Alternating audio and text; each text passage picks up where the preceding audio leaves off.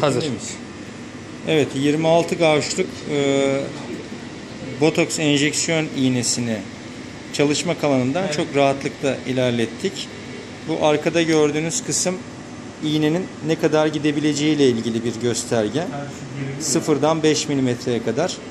E, burada gördüğünüz gibi sıfır noktasında istersem 2 ya da 3 milimetrelik şu ucunu görüyorsunuz. Ucundan iğne çıkıyor.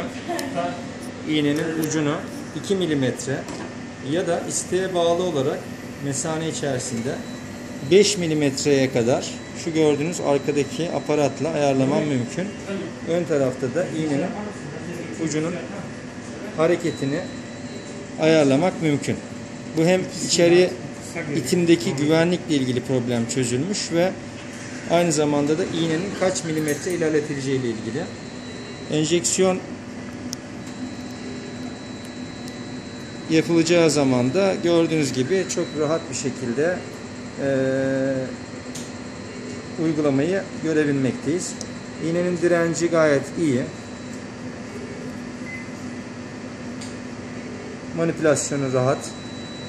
Mesane içerisinde de biraz sonra göreceğiz. Evet. Teşekkür ederiz.